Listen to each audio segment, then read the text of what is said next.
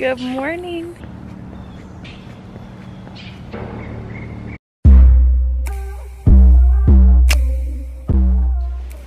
Good morning guys, welcome back to my channel. If you're new here, my name is Julia and welcome to a little day in the life of vlog. You guys pretty much saw my morning. I've already had one client. I'm about to make a quick breakfast because I gotta get my workout in before my 10 a.m. client. But without further ado, make sure you're subscribed and let's get into it. All right,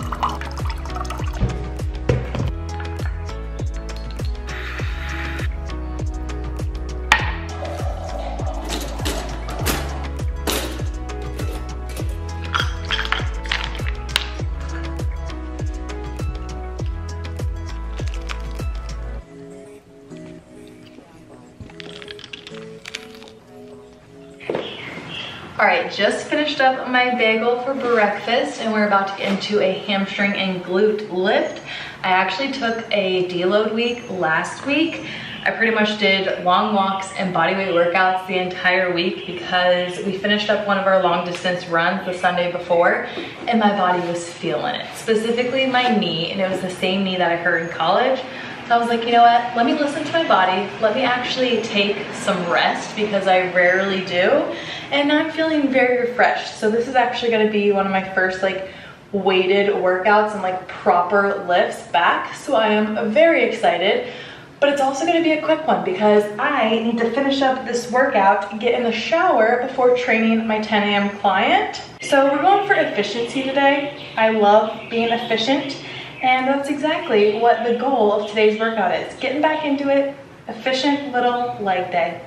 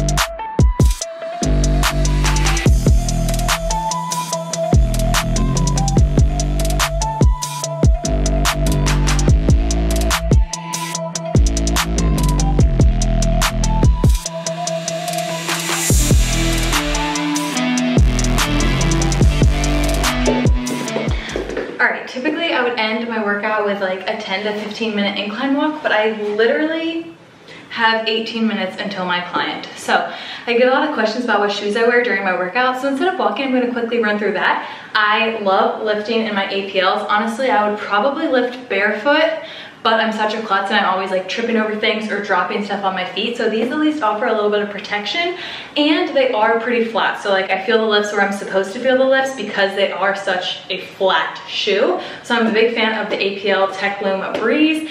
I do need a new pair because these are so freaking dirty or I need to learn how to wash them. So if you know how to wash white sneakers, let your girl know. I'm sure it's pretty simple, but I really need to do that. And then when it comes to running, I've always, always run in my Nike Zoom Pegasus.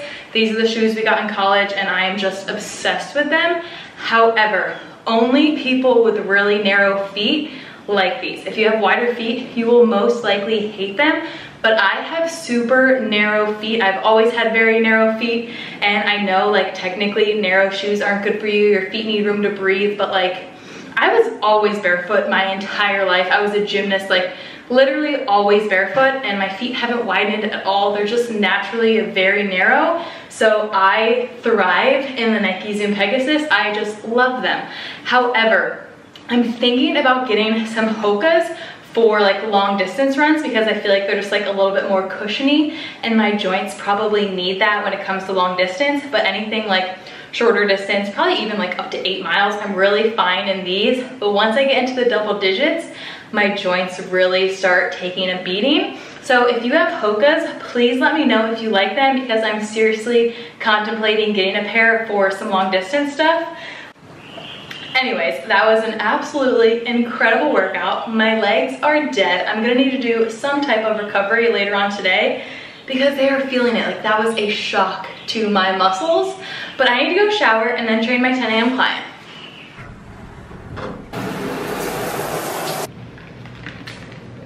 All right, it's literally 10 a.m.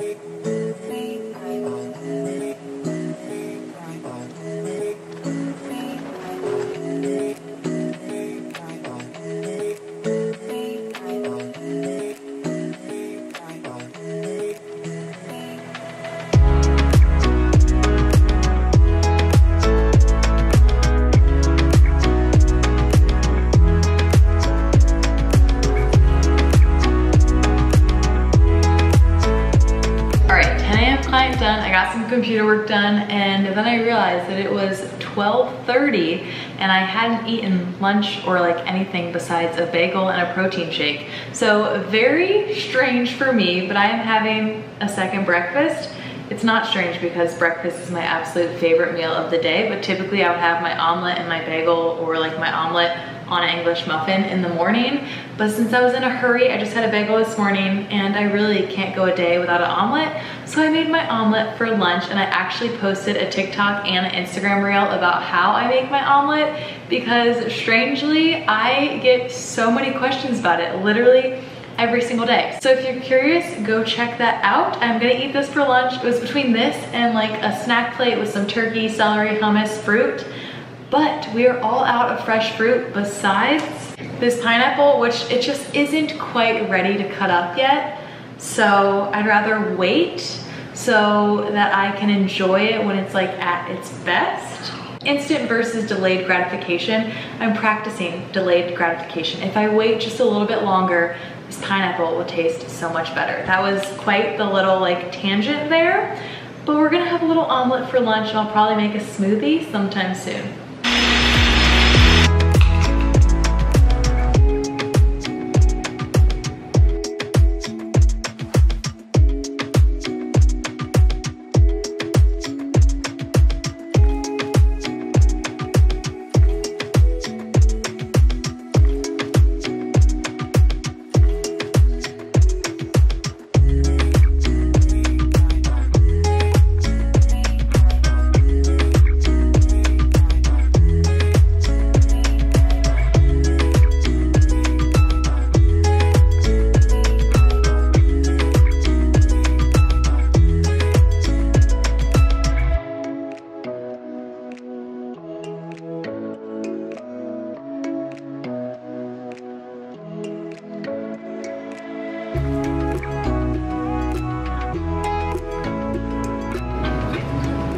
All right, long time no talk. It is 5 p.m.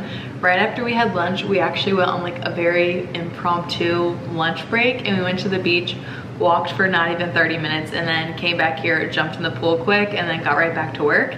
We weren't even gone for an hour total, but it was a very nice little way to kind of break up the work day. So since I've been home, I've just been grinding away on some client programming, YouTube video editing, answering emails, and working on my own program. I kind of hinted at it a few vlogs ago, but I'm changing up my split for some new goals that I have and I'm still kind of working on finalizing that. So that's kind of been very fun to work on, but I do need to work on my clients programs before I get to my own. They come first because that is my job. So that's just like the not so glamorous side of being a personal trainer, just tons and tons of computer work and programming, but I personally feel like it is super fun work. So hopefully if you get into this profession, you think that programming for clients is super fun because you're gonna be doing a heck of a lot of it. But that is what has been going on. I just had a quick protein bar. I'm gonna prep dinner soon because I do have my aunt on FaceTime at 5.30. She's my last client of the day and I have to say, she is one of my most consistent clients despite her crazy busy life. So I'm extremely proud of her. All of my clients are pretty much extremely consistent, but like her consistency really surprises me and I am just so freaking proud. But we're gonna be having salmon for dinner, salmon, rice, and asparagus. So get excited for that. I am actually excited because I love all of those things so much. Hence why I'm always having salmon in pretty much all of my vlogs. But I need to get back to work and then prep dinner and then turn my aunt. So I will see you guys when I am having dinner.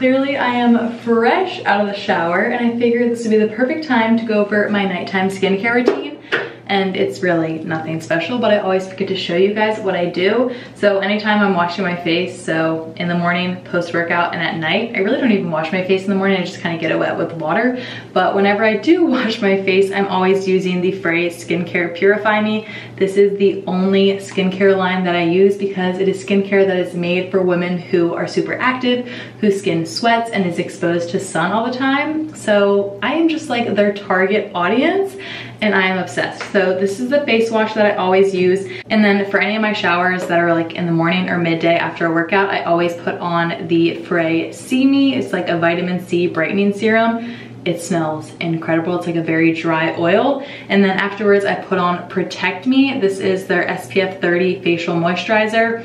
It's also sunscreen since it's SPF 30 and it is just the best and it's not like super thick. It doesn't cause breakouts. Like it is just the best. Cameron uses this too. Like this is my go-to face sunscreen. It is all that I use on my face.